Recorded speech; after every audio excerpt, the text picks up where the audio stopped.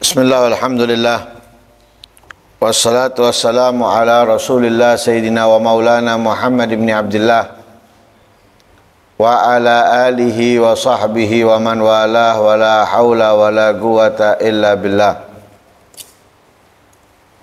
نوين تعلم وتعليم والنفع والانتفاع والمذاكرة والتذكير والإفادة والاستفادة والحث على تمسك بكتاب الله وسنة رسوله والدعاء إلى الهدى والدلالة على الخير ابتغاء وجه الله ومرضاته وقربه وثواب من الله تعالى قال المصنف رحمه الله ونفعنا به وعلمكم في الدارين آمين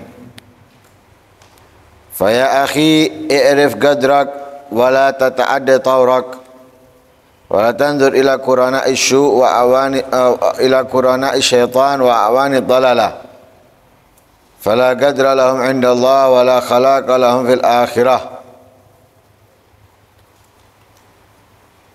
Wahai saudaraku, ketahuilah posisimu. Jangan engkau melewati batasanmu. Jangan kamu perhatikan teman-teman setan,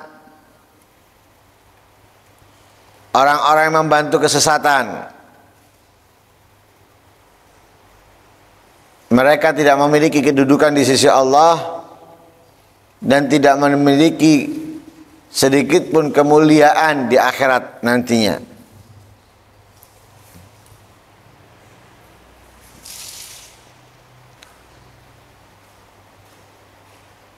Kita harus tahu posisi kita. Kalau memang posisi kita sudah benar, kuatkan, mantapkan pada posisi itu. Jangan tidak mengetahui posisimu. Di mana kita? Dengan siapa kita? Bagaimana kita? Nggak tahu. Ini bahaya. Karena kita nggak tahu tepatnya. Di mana kita? Kalau kita nggak tahu tempatnya, itu bisa celaka.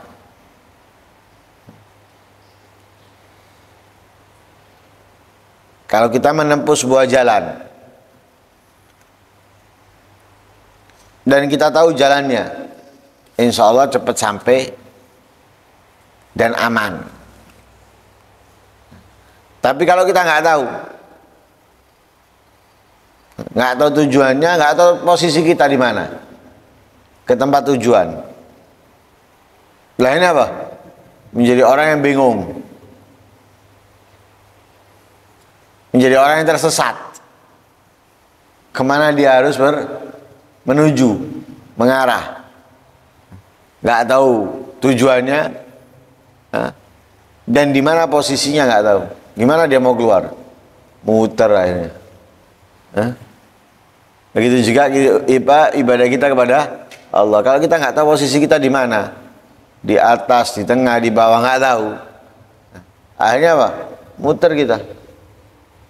Ya, seperti orang yang diam di tempat, nggak ke mana-mana, nggak bisa meningkat, nggak bisa memperbaiki. Karena apa? Dia sendiri nggak tahu posisinya di mana. Karena itu kita di, dianjurkan untuk mengetahui posisi kita. Wala tata ada taurok. Jangan kamu lewati batasan kamu. Semua itu memiliki batasan. Kalau belum menjadi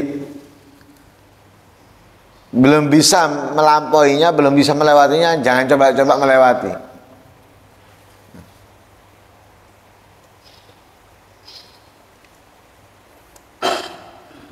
Malaikat Jibril ketika mengantarkan Nabi Muhammad sallallahu alaihi wasallam Isra dan Mi'raj dari Mekah ke Baitul Maqdis ditemani ditanya menjawab menjelaskan menerangkan naik Langit satu, langit dua, langit tiga, langit empat, lima, enam, tujuh. Ikut berdiskusi, ikut menjawab, apa ikut Bapak menjawab jika ditanya dan lain sebagainya. Tapi ketika sudah sampai batasan yang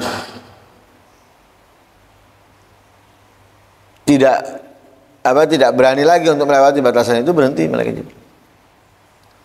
Nabi Muhammad mengatakan, "Loh, kok ditinggal sendiri anakku? Siapa yang menemani aku?" Kata malaikat Jibril, "Enggak, ini batasanku. Aku nggak bisa melewatinya lagi. Aku lewat terbakar." Nah, ini mengetahui apa? Mengetahui posisi dan mengetahui batasan. Sehingga tidak mau melanggar atau melebihi batasan sebelum waktunya tiba. Belum waktunya mau melewati batasan hancur. Seperti orang apa? E, belum waktunya berbisnis dengan jumlah modal yang besar, langsung modal besar. Padahal belum pernah berbisnis. Belum tahu caranya berbisnis. Langsung modal besar, amblas.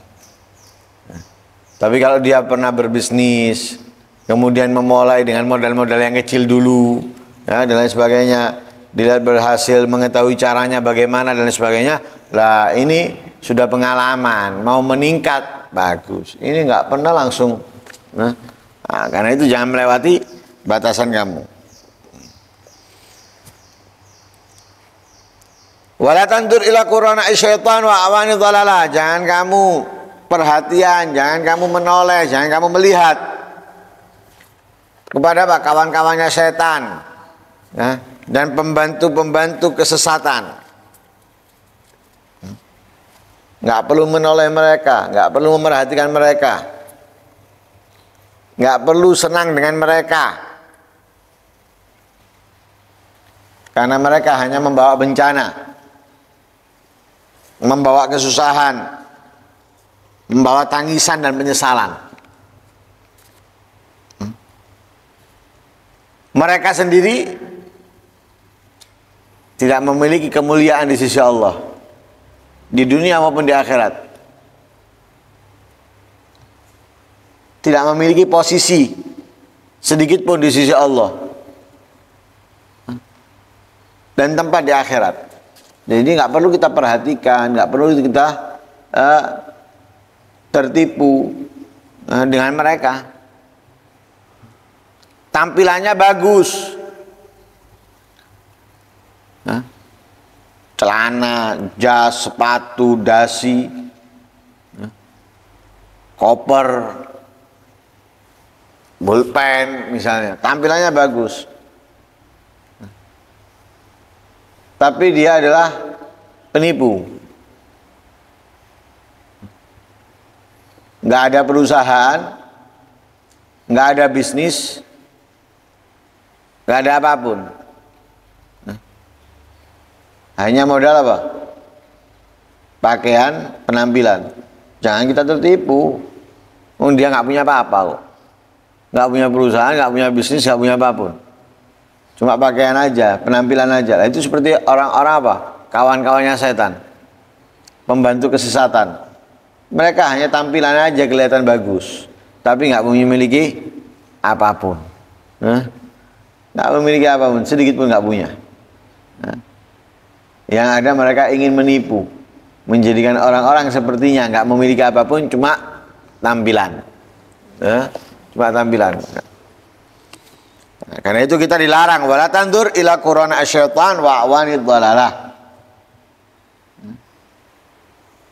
Masa kita mau tertipu dengan hanya pakaian? Sedangkan dia tidak memiliki apa pun. Nah, bahkan terkadang dari mereka nulis nggak bisa. Kita tertipu. Nah, karena itu jangan tertipu dengan kawan-kawannya setan, nah, penolongnya setan, pembantunya setan, jangan tertipu. Hmm? Mereka sama sekali tidak memiliki kemuliaan di sisi Allah ya, dan tidak punya tidak memiliki posisi sedikit pun di akhirat. Falikulli syai'in alamah wa ala da'wa al-bayyinah.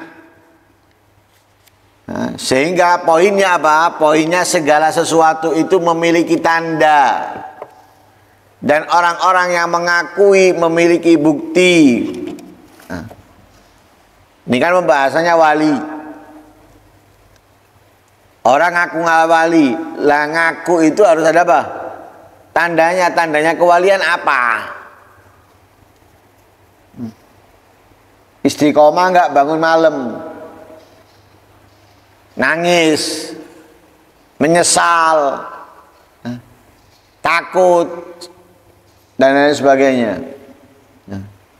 Zuhud, wara, dan yang lainnya. Jadi segala sesuatu ada tandanya. Lah orang yang mengaku itu harus membuktikan. Buktinya kalau dia wali itu apa? Jadi segala sesuatu harus ada bukti. Yang mengaku harus memberikan bukti. Buktinya apa? Karena nggak mungkin nah, mengaku tanpa adanya bukti. Orang nggak bakal percaya. Saya punya rumah gede. Ngaku punya rumah. Mana buktinya? Kamu punya rumah. Orang nggak akan percaya kalau dia tinggalnya di embong, di jalan, nggak pernah pulang, kemudian ngaku punya rumah. Orang nggak bakal percaya. Buktikan, baru orang akan percaya. Saya ini walinya Allah. Huh? Nah, kalau kamu memang walinya Allah, buktikan apa? Nah, kenapa wali itu ada tanda-tandanya? Karena itu Allah berfirman, "Qul hatu burhanakum in kuntum shadiqin." Allah memerintahkan mereka, "Eh, datangkan bukti-bukti kalian." Bukti pengakuan kalian datangkan. Bawa In kuntum jika kalian benar. Jadi jangan hanya ngomong tok, buktinya apa? Itu yang diminta oleh Allah kepada mereka. Kamu mengaku ini, kamu mengaku itu. Oke. Pengakuan kamu itu harus ada bukti. Buktinya apa?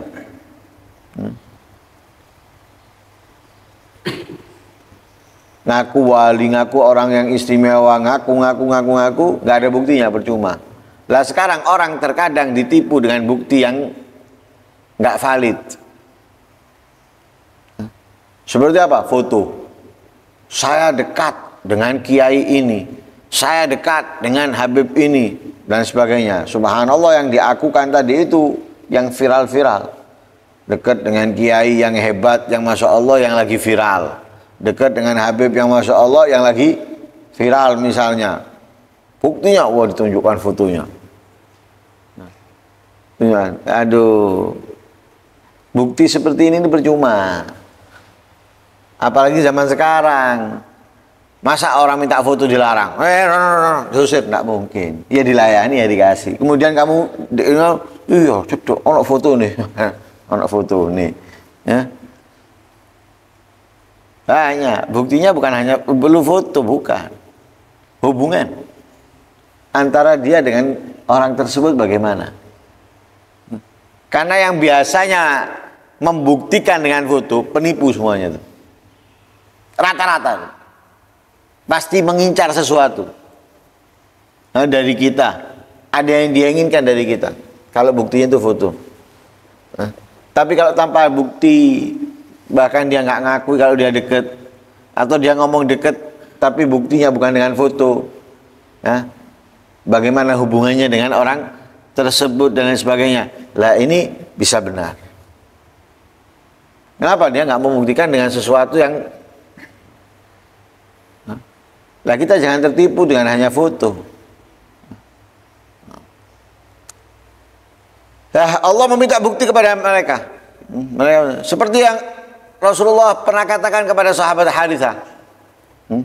Rasulullah pernah pada, pada, pada waktu pagi berkata kepada Harithah, Ya Harith, kaifa asbahta? Ya Harithah, bagaimana kamu di pagi hari ini? Eh. Katanya Haritha asbahtu mu'minan haqqa. Pagi ini aku sebagai orang yang mukmin dengan kesempurnaan iman. Jadi omongannya Haritha ini aku ini orang yang benar-benar beriman. Nah, iman itu ada terbagi dua. Nah, ada iman seperti yang di rukun iman antuk minabillah wa malaikati wa kutubi wa rasulih. Ada iman arti yang kedua. Nah, apa arti yang kedua? Iman arti yang kedua itu idza tuliyat alim ayatuhu zadatum imana. Ya, idza dzukirallahu wajilat qulubuhum wa idza tuliyat alim ayatuhu zadatum imana wa ala rabbihim ya tawakkalun ya, sampai Allah mengatakan ulaika mu'minuna hagga ulaika humul mu'minuna hagga ya, mereka itu ada orang-orang yang benar-benar ber, beriman lain tanya oleh Rasulullah tentang benar-benar beriman bukan hanya sekedar mempercayai meyakini bahwa adanya Allah kitab-kitab dan Rasulnya bukan tapi benar-benar beriman langsung Rasulullah mengatakan kepada sahabat Harisah, "Fama hakikatu imanik?" Kesempurnaan imanmu apa? Artinya apa? Nabi meminta apa? Buktinya, buktinya kesempurnaan iman kamu ini apa? Kenapa? Likul liqaulin misdaqa. Setiap perkataan itu harus ada bukti. Yang membenarkan yang membenarkan saya cinta Allah, saya cinta Rasul. Nah, perkataan kamu ini, pernyataan kamu ini harus ada bukti yang membenarkan kecintaan kamu kepada Allah dan Rasulnya. Apa? Itu loh. Ngomong sayang anak atau sayang istri. Nah, pernyataan kamu sayang ini harus ada buktinya. Buktinya apa? Kalau kamu nggak pernah peduli kepada mereka, Nah, nggak pernah mengajarkan kepada mereka, tidak pernah memerintahkan mereka untuk melakukan ibadah kebaikan, berarti omong doang. Kenapa? Pernyataan kamu tidak ada buktinya. Lah ketika sahabat Harithah mengatakan asbahtu mu'mina hagga, Nabi mengatakan inna likulli qaulin misdaqa. Wa ma misdaqu qaulik. Setiap ucapan ya, itu ada pernyataan apa bukti yang membenarkan pernyataannya. Apa pernyata apa ke, kebenaran pernyataan kamu ini? Nah, dijawab nah, oleh sahabat hadisah dengan beberapa jawaban. Nah, di antaranya apa azafat nafsi dunia. Nah, azafat an nafsi dunia aku buang dari diriku dunia. Nah, wa ashartu layali. Ya. Aku begadang ibadah kepada Allah. Nah. Sampai melihat apa? Sampai melihat penghuni surga yang saling berziarah sehingga aku ingin tinggal di dalamnya, berusaha untuk mendapatkannya. Aku melihat ya, azab penghuni neraka sehingga aku berusaha menghindari menjauhinya dan sebagainya. Nah, akhirnya katanya Nabi, ya ini benar. Buktinya ada. Lah ketika diucapkan bukti-bukti itu Nabi benar-benar melihat bahwa hal itu ada pada sahabat Haritha. Pernyataannya nggak dusta benar. Sama dengan kita. Saya kenyang. Ditawari makan. Nggak mau kita tolak. Kawan minum nggak kenyang. Tapi mau enggak kenyang. Kasih makan. Lap lap lap lap ngomong wareg jadi Ya, bisa percaya kita omongannya tadi kenyang? Tidak bisa.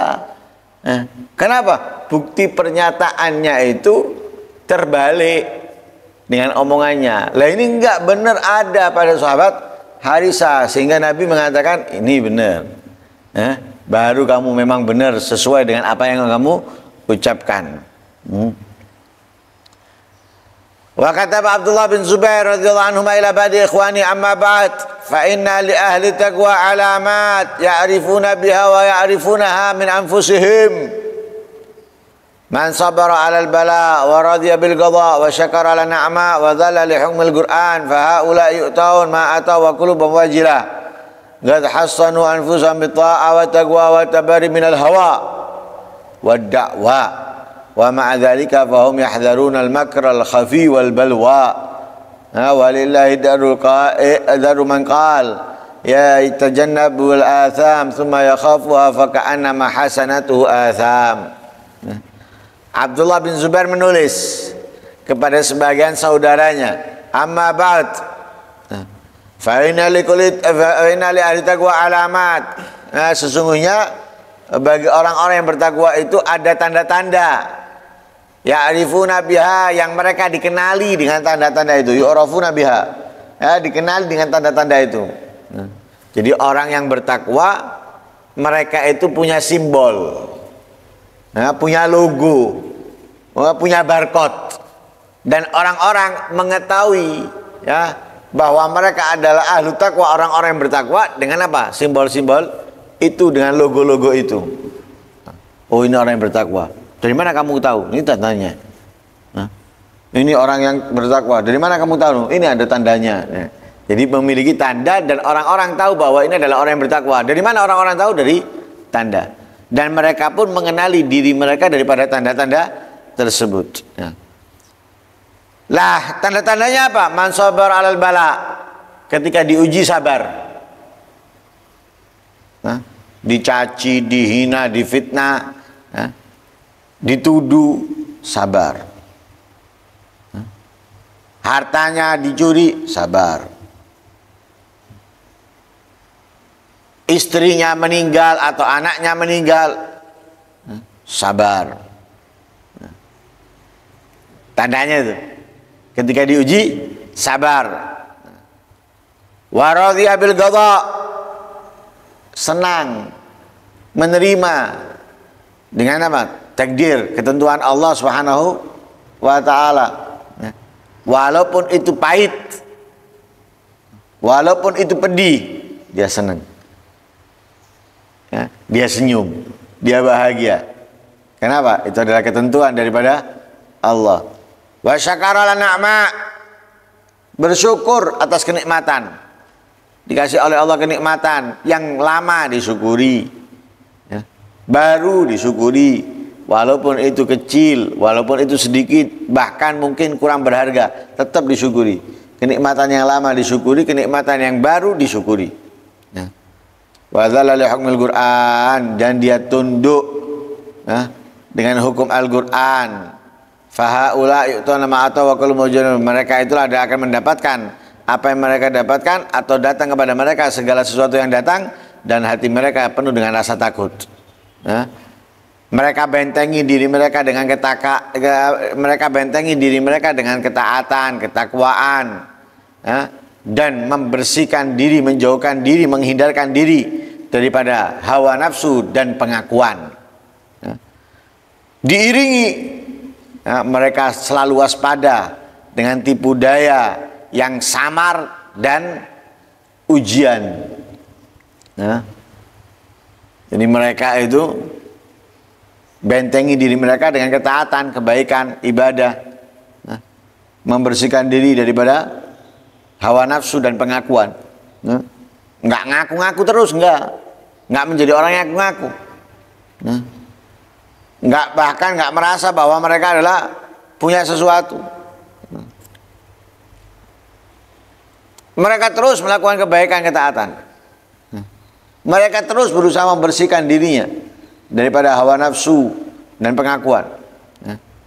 Lalu diiringi dengan apa? Diiringi dengan rasa takut akan tipu daya, akan tertipu dengan apa yang ia perbuat, apa yang dia ucapkan dan ujian. Sebagaimana disebutkan dalam sebuah syair. Ya tajannabul atham thumma yakhafuha.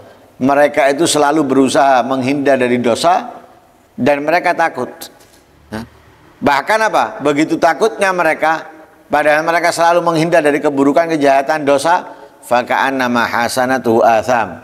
Seakan-akan kebaikan yang dia lakukan itu penuh dengan kesalahan. Mereka terus melakukan kesalahan kebaikan menghindar dirinya dari dosa tapi kebaikan yang dia lakukan mereka merasa bahwa penuh dengan kesalahan. Eh? Sebagaimana Al-Habib Abdullah bin Husain bin Tahir wa kasbunah kullu zalal eh?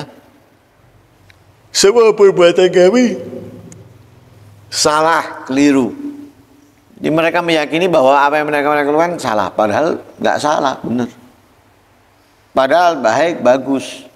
tapi mereka meyakini seakan-akan salah. Sehingga apa? Mereka terus menangis, mereka terus bersedih, ya, karena belum bisa sempurna dalam menjalankan, masih kurang dan lain-lain sebagainya. Itu mereka.